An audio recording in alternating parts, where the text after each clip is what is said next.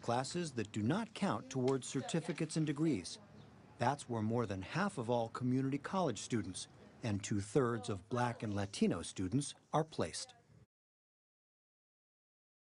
They're coming here with a great emphasis on, on making their lives better. And the first thing we say to them is, not so fast there.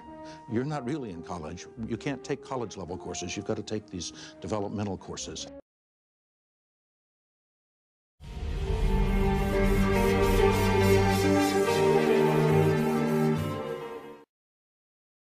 You will not be able to even go to the community college and get college credit bearing coursework. We have this fiction that our kids can go to community college. You can go there even without a high school diploma until they have to go take the basic skills tests and the placement tests. And then they're channeled into remedial classes. Classes where in community college and even in four year colleges, they're actually doing high school over again. They're not earning college credit for it. You know what they're getting? A whole lot of debt. And so what we're seeing is patterns of black and brown young people that do get access to college that never get out with a degree or a credential. Instead, they get out with some credits and a whole lot of student loan debt that you can't even get rid of in bankruptcy.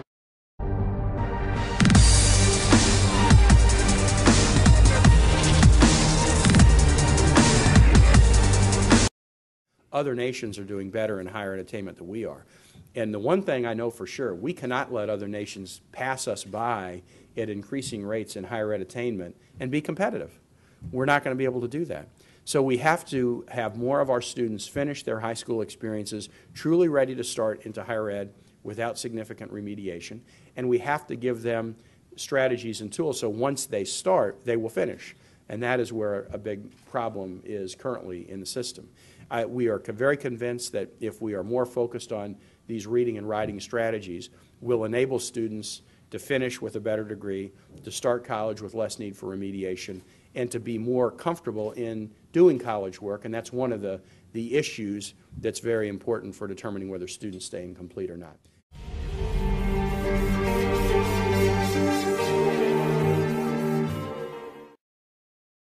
A video game is just an assessment all you do is get assessed every moment as you try to solve a problem. And if you don't solve it, the game says you failed.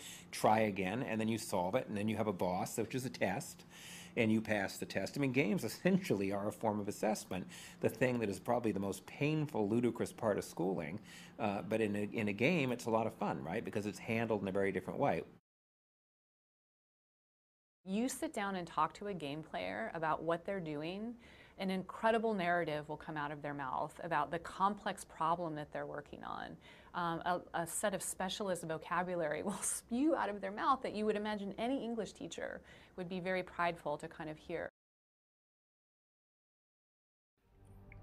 LifeTracks, a game for learning, managed by a small nonprofit organization and a steering committee made up of educators and students from participating high schools and colleges.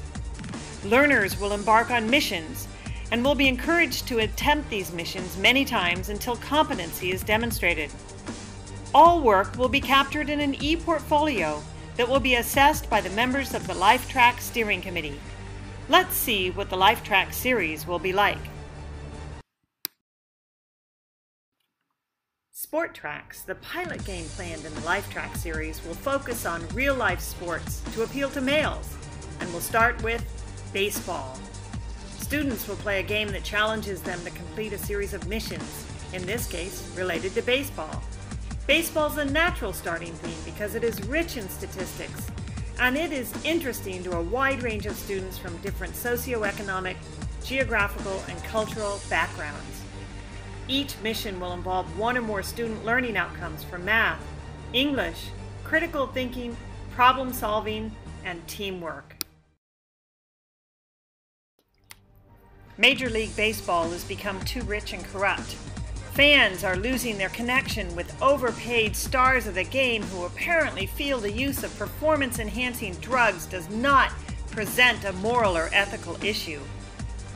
You've been hired by a wealthy donor to be the general manager of a team in a new league. Your challenge is to draft a roster of 25 players, manage a salary cap, form a working relationship with the city, and finish with a record of 500 or above.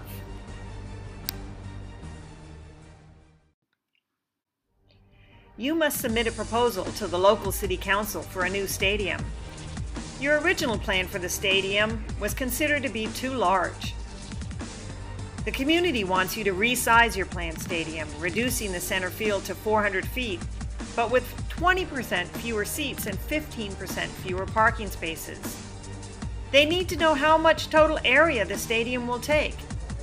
And at $30 per square foot, how much less is it going to cost to build this stadium than what you had originally planned?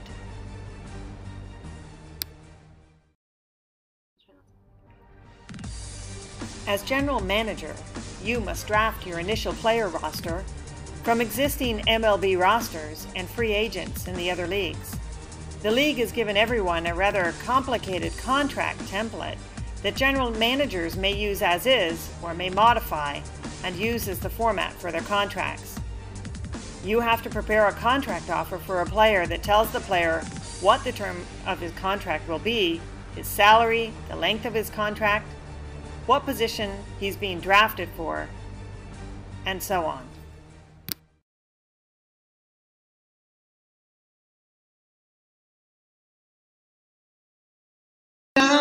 Downtown.